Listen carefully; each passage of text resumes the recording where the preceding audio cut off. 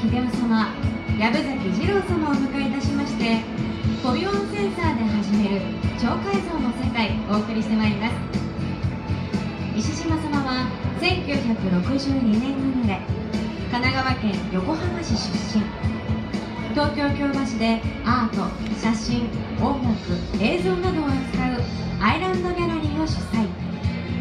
2010年よりギャラリストとして写真家をプロデュースする業務を開始する一方個人の活動として音楽ユニットピンガーラのメンバーでもありサウンドプロデューサーとしてご活動映画音楽や映像 CM なども手掛けられる写真音楽映像など多岐にわたるクリエイターでいらっしゃいますそして藪崎様は横浜市在住写真家。色彩管理士カラーコーディネーター。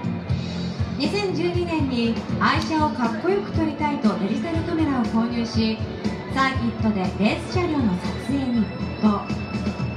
自動車や金属など艶のある被写体のリアリティあふれる会長表現を得意とされ特にスポーツカーの撮影現像センスは車雑誌の編集者の舌を巻く。2016年に参加した写真展を機に風景写真の扉を開く写真で人々を笑顔にという志を持ち日本全国の風景を追いかけているまた写真作家活動を通じて東日本大震災で被災した子どもたちの教育と心のケアをサポートする慈善活動も行ってらっしゃいます。それでは大変お待たせいたしました。お二方ご紹介いたしましょう。石島秀夫様そして藪崎二郎様ですどうぞご登壇ください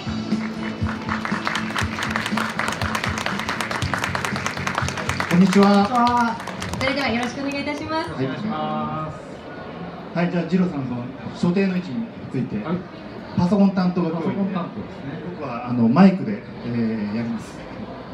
えーと、さっきの、えーこのプロフィール、怪しくないですか、これ。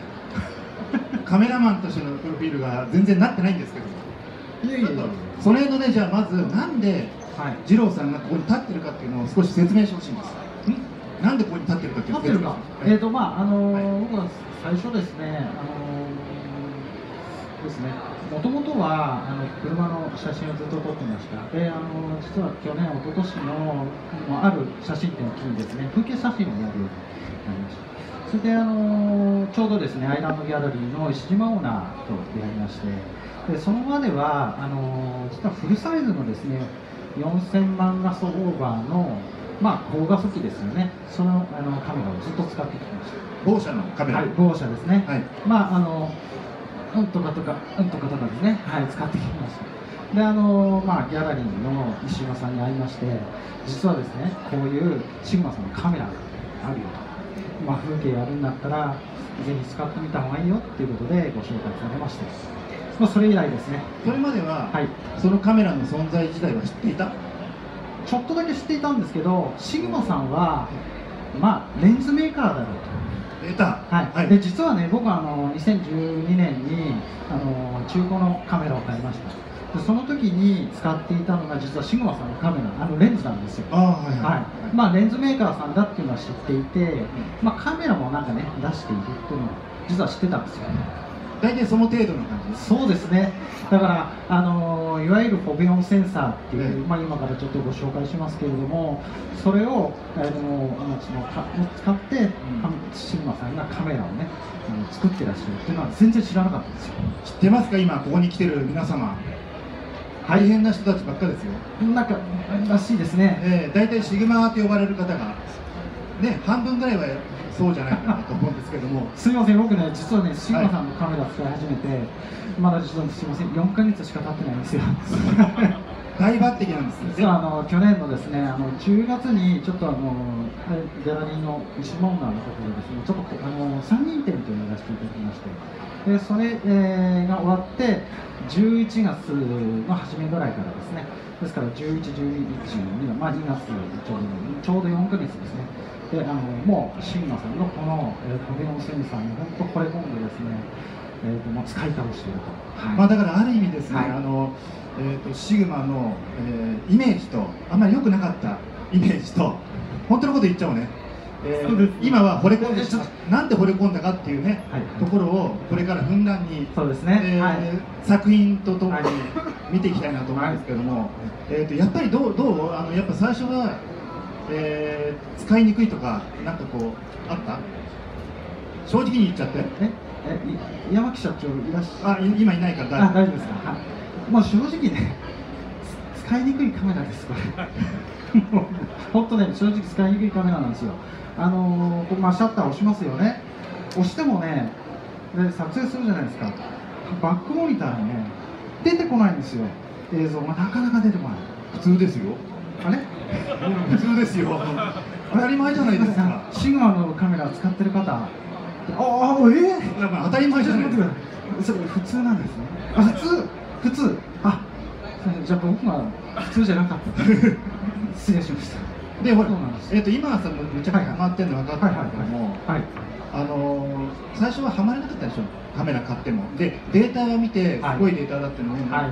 えー分かったと、ええでプリントのデータもはい。もう断然だと。分かったと、はい。でもそれでも使えなかった期間があるじゃない。はい。なんだよ使いにくいなってきっと思ってたんじゃないかなと思うんだけども、はい。例えば現像ソフトがああ、来ましたか。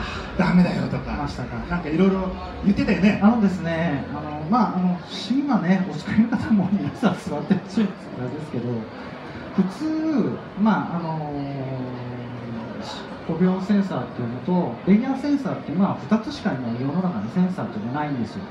で、まあ、99.99999%ぐらいがヤーセンサー使われています。まあ皆さんそれ言い過ぎかな？あれ？わかんないけどいやいや実際のシェアちょっとスマートフォンのねスマートフォンのカメラのなカメラのセンサーまで入れればそれぐらいのあの率になると思います。と？それなどこ調べ？え？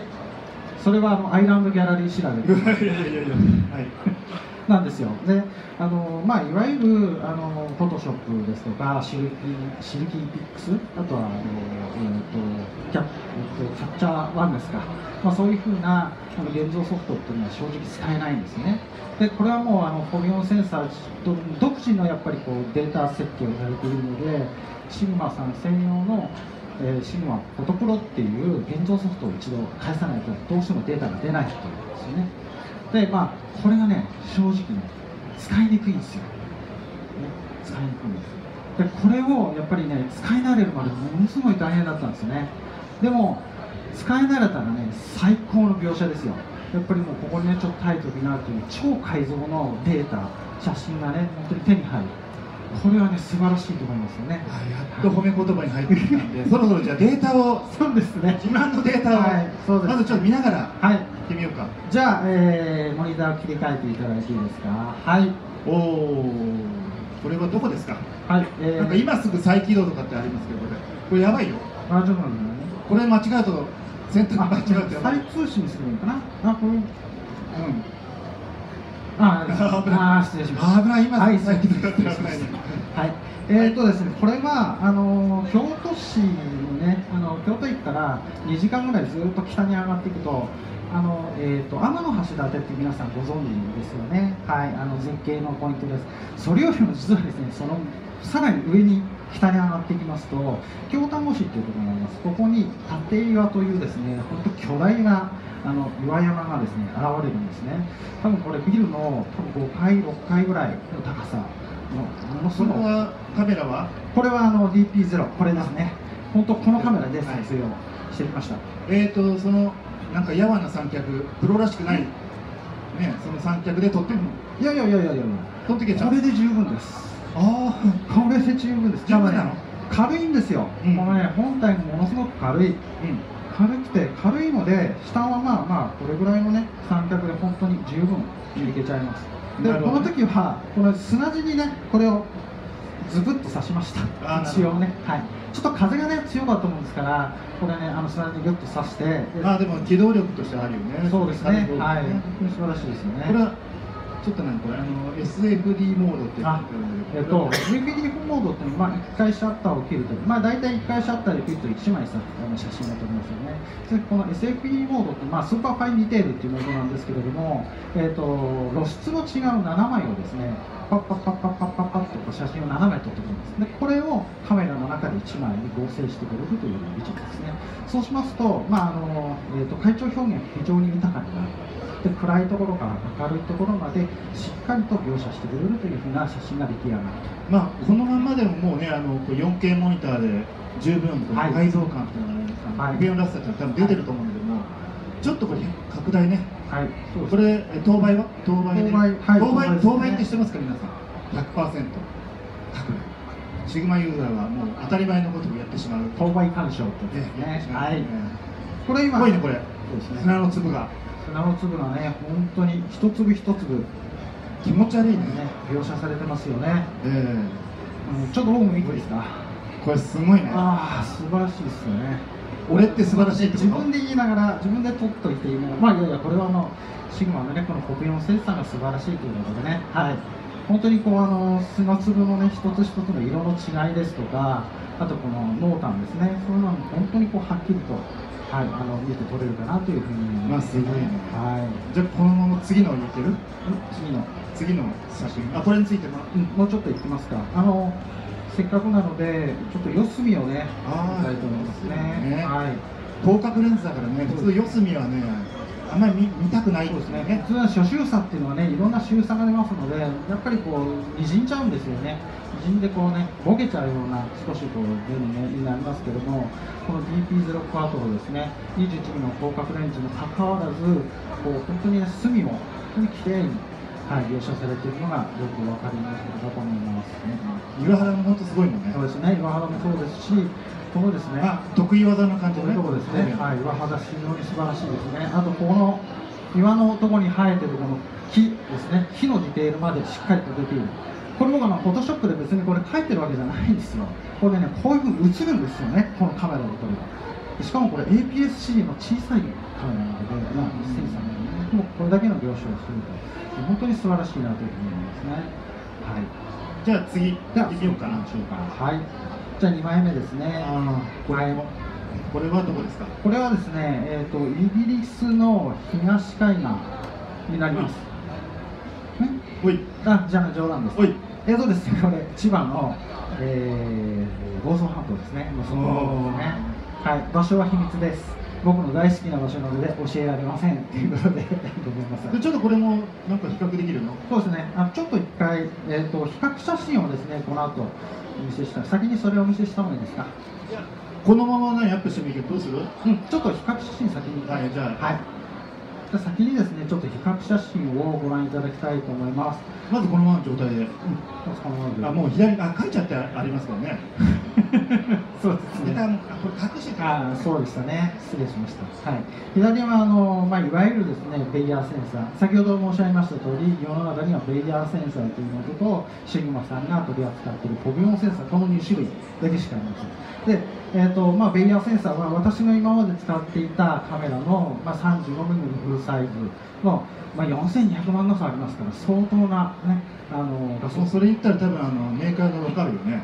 まあいいか。はい。でね。ちなみにねこれね。はい。えー、あ皆さん分かりますよねこの解像感の違いっていうのね。明らかこれさわざとピントを外してんじゃない？いやいやいやいやいやこれはあのしっかりねピント実はねこの辺りに合わせてるんですよ。ちょうどこのコントラストが一番強く出るところですね。本当本当ですね。ちょっとは下手になってるんじゃないいいやいやいやいやそんな。ちゃんとピント合わせた？はい。あの必ず撮影の前にピントチェックしてきますのではい大丈夫です。おかしいよねでもね。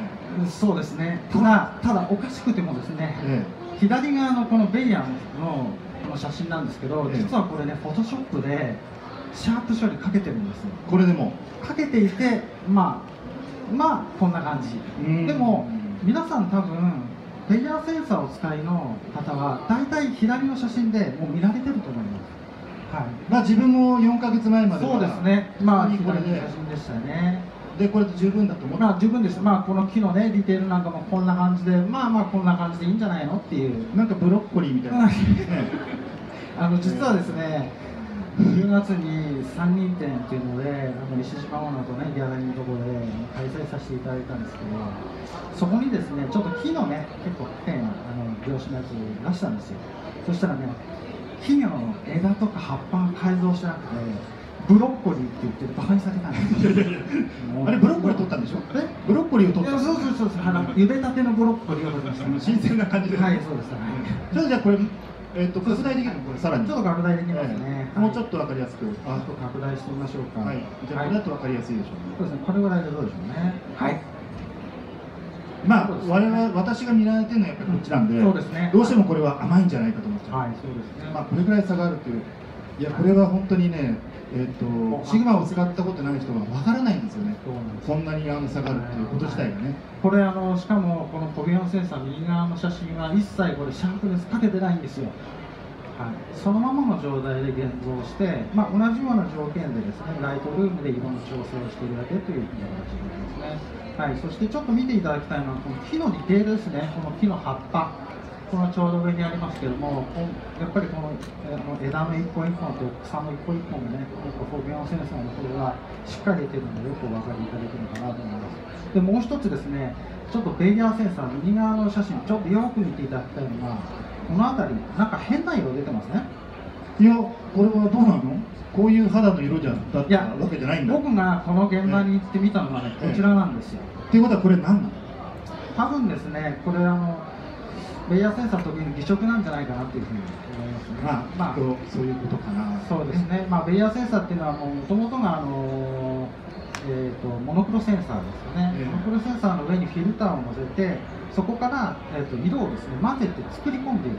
で想定して作っているっていう原理をしやってます。ですけどコベオンセンサーっていうのはフルカラーセンサーですね。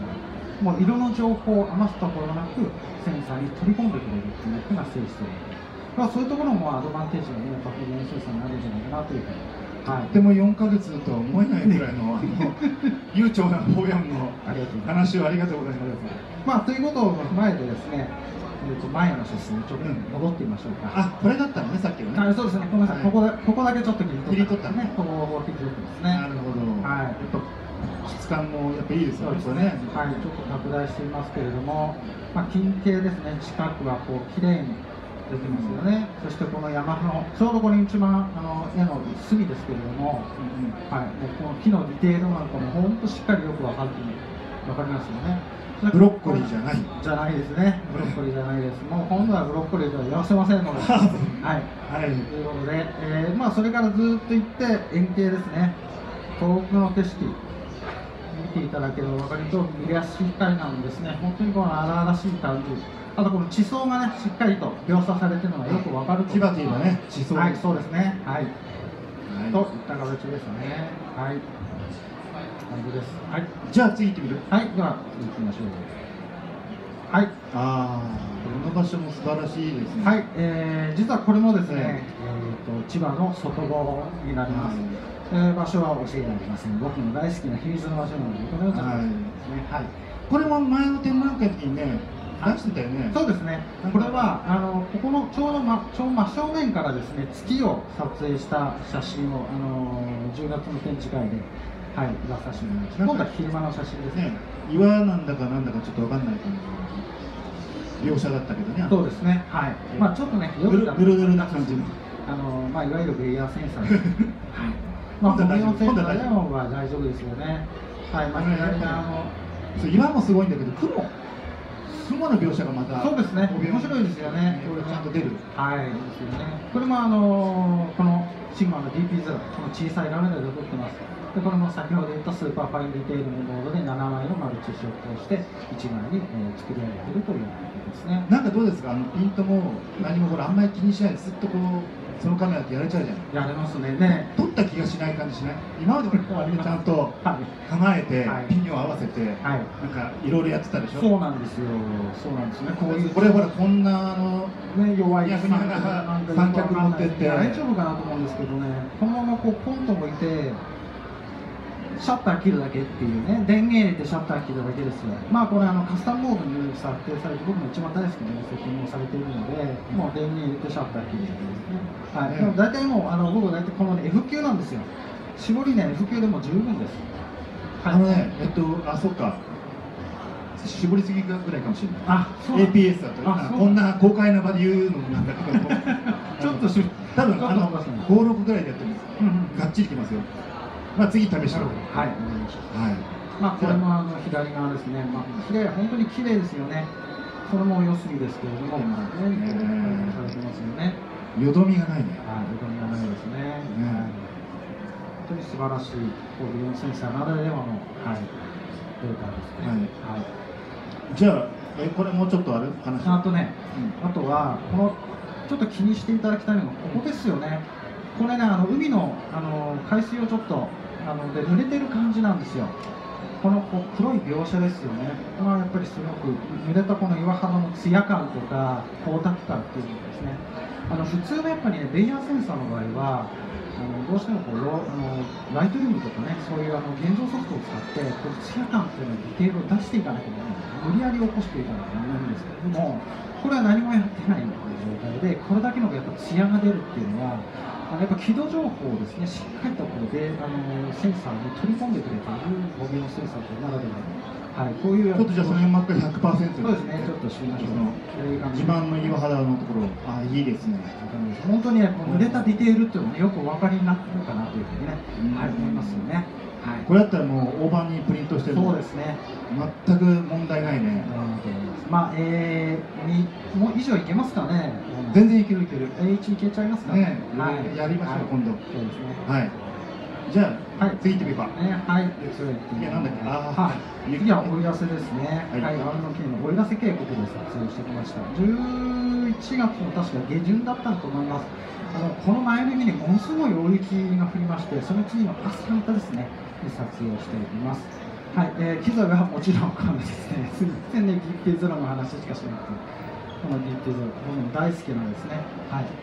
あの惚れ込んだ DP0 で、えー撮影してます。で、またこれも F 級ですね、もうスーパーファイリーというのモードで撮影していると。もう基本あのスーパーファインディテールモードで撮れるところは撮る。そうですね、はい。まあ、1枚撮りよりもやっぱり、あのー軌道情報をね、しっかりと取り込むためには、やっぱり7枚の丸シュートをしてでもその場合はい、ダメなところもあるでしょ。例えば1回シャッターを押しちゃったら、はい、まあ、3分ぐらいもうどうにもならない。そうですね。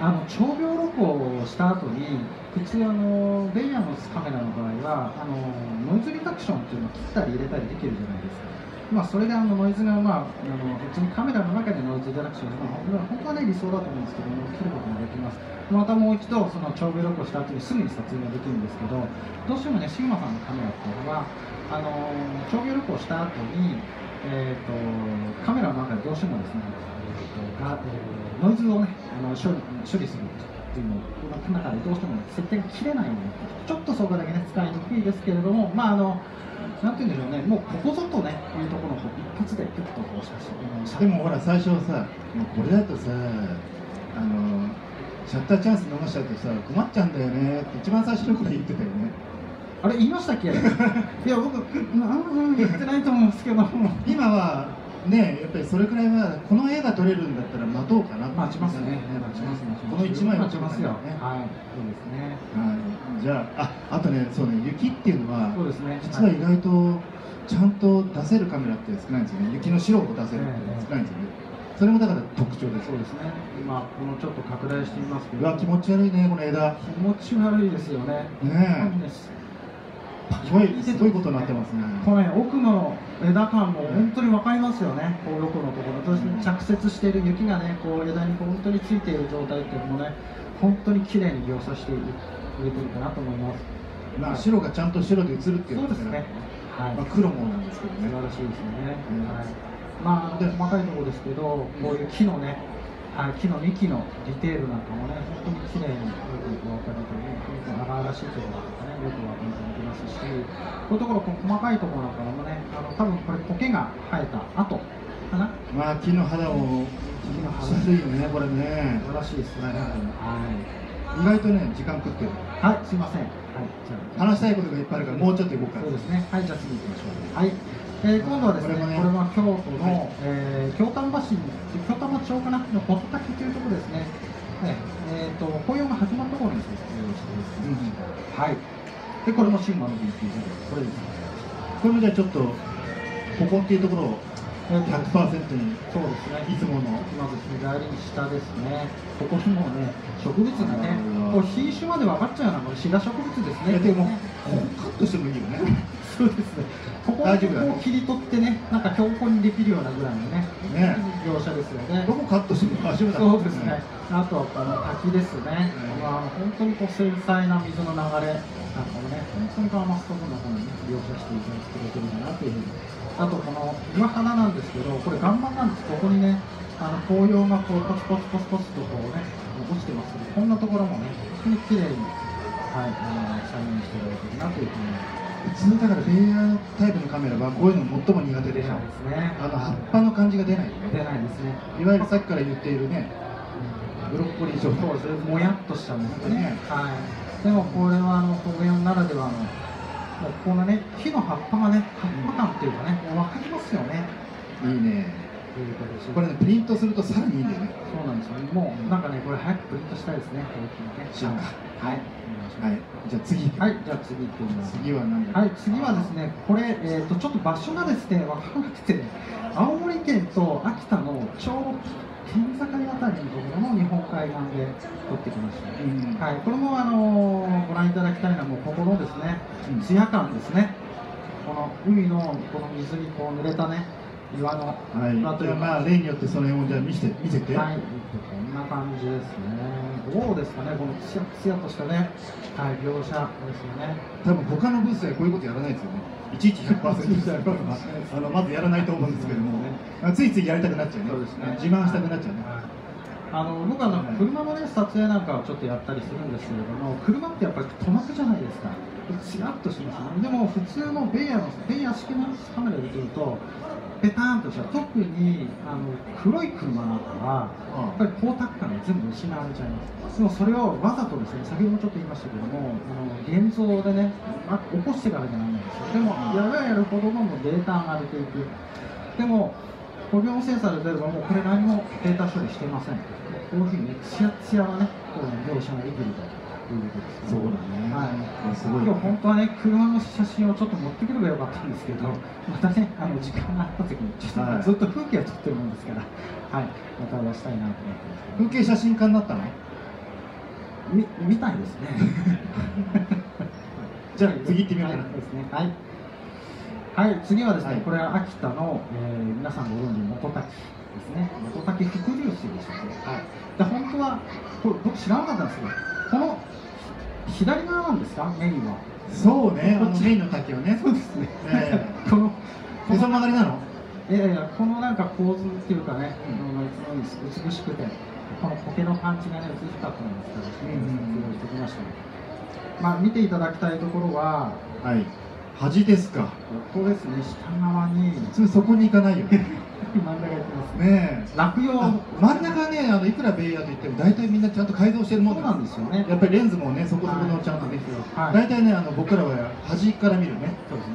ええ端ですね。端がちゃんと来るかどうかをチェックする、はい。でやらしいねちょうどね、この時は本当に雨がね、ものすごく降っていて、ん皆さんご存知、斉藤志門さんとね、あの、足でいらっしゃいます。ありがとうございます。はい。あの、一緒に行ったんですけども、本当雨がひどくてですね、大雨でつ疲れちゃう。これね、ちょうど全部濡れてる、落葉も濡れてるんですね。先ほどの濡れ感もそうですけど、ここにね、葉脈がね、きれいに写ってるんですよ。一枚一枚に。これもう一度ちょっとね、あの、レンズに積んでしまうと、こんな小さいんですよね。これがですね、本当にものすごくきれいに。あのー年末にアイランドギャラリーで、はいえー高画素対決ましたねプリント対決っていうのをやったことあるんですよあの各社のあのメーカーの、えー、と本当高画素自慢の機械を借りて6台だったかな？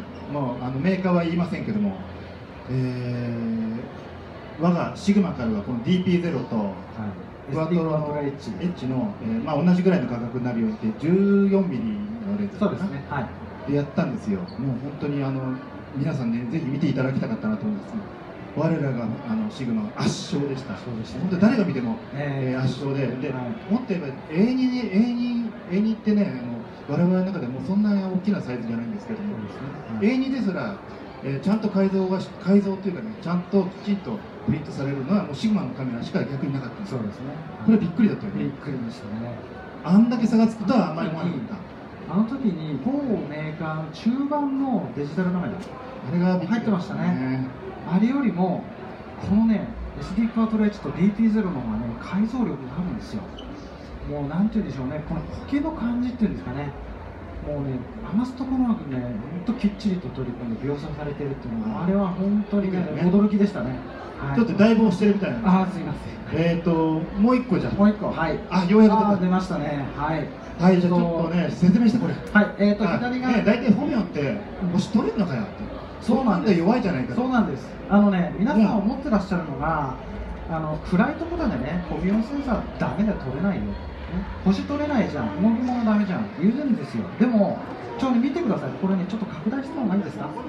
このままの状態でも少し分かりますかね？あのあ、糸左わかりますね。わわからない。あのー左側はまあベイヤーセンサーの、えっとこれ4200万マスの高画素機ですから作って撮るので、あのレンズは同じものを使用しました。で、左あ右側が、えーシグマさんの SD コートロッチですね。見ていただくとお分かりの通り、オビオンセンサーって星の色が出るんですよ。しっかりと。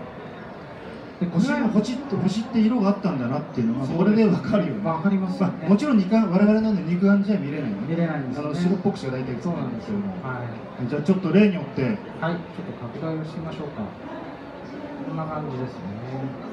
はいまあ、ベイヤーまず左からじゃあはい、ちょっとベイヤーの、ね、こうオリオン座がここに映ってますね。はい、まあ、あの、大体こんな感じで、なんか色がついてるのか、ついてるのか、よくわかんないような。まあ見慣れた、は見られた星で、い、安定的な、はいはいそして。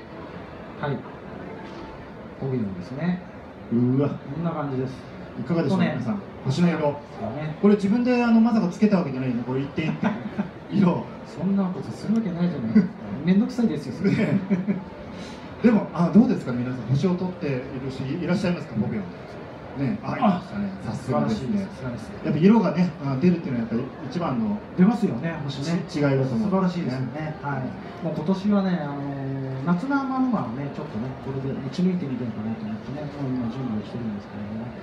だからあのねどうなんだろうね。これで天の川の色までまたさらに出たりしてね面白いね。はい。レンズがいいのが出てるからね。はい、そうですね。今はね明るいのが出てる。14ミリのアート、ね20ミリアート、はい、出ますよね。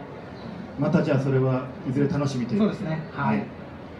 で次がねままだある？最後、あまあ、これは北海道の美瑛ですね。はい、マイルドセブンのおかげで撮影をしてきました。えっ、と、まあ、5秒センサーなんか逆光に弱いっていうね、お話がなんかちらほら聞かれます。まあ弱いよ弱いんですね。まあ弱いよえ なんか、うん、なんか普通にとと撮れましたね。はい撮り方がうまければあだとああとはフィルターの入れ方みたいなね、多分あるとあのね、えっと、シグマのカメラを使う人ってみんなね写真がうまくなる。光を読まなきゃなるほど。いい写真が撮れないからうまくなる。なるほど。そういうこともあるかもしれない。下手な人は撮れない。そうですね。勉強します、はいでそろそろじゃあ。あ、そうですね。じゃあもう、あのなんか時間らしいんであ長いですね。すいません。35分ってね。あ、あ、もうそろそろですね。はい。だから宣伝タイム。あ、すいません。いいいいですか？宣伝タイムちょっとさせてください。はい、もさせていただいて、はい、あのー、なんと。私のですね、実はあの初の個展をですね、アイランドギャラリーさんの方で開催させていただくことになりまして、ありがとうございます。皆さんもね、あの本当あの日頃の応援があってからすると思っております。これは全部5秒で撮るのかな？